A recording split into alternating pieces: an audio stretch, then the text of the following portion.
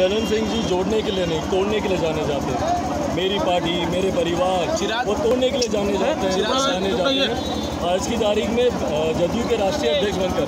मुझे नहीं लगता कि वो पार्टी को जोड़ पाएँगे उनकी पार्टी में और टूटी होगी और वो बहुत जल्द देखने को मिलेगी। एक बात मैं आप लोगों को स्पष्ट तौर पर मैं कहना चाहता हूँ कि भले यहाँ पर हम सब अलग अलग क्षेत्रों से आए हुए हैं अलग अलग जिलों से आए हुए हैं अलग अलग उम्र दराज अलग अलग उम्र के लोग हैं। पर हम सब आज अगर यहाँ पर एकजुट हुए हैं एकत्रित हुए हैं तो मैं इस बात को मानता हूँ और विश्वास रखता हूँ कि हम सब की सोच सिर्फ़ और सिर्फ़ बिहार को आगे लेकर जाने की है।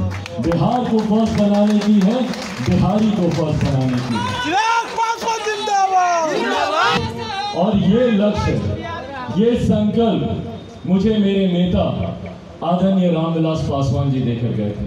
उनकी अंतिम इच्छा थी, उनका अंतिम सपना था कि किस तरीके से हम लोग बिहार फ़र्स्ट, बिहारी फ़र्स्ट को हम लोग धरातल पर उतारने का काम करें।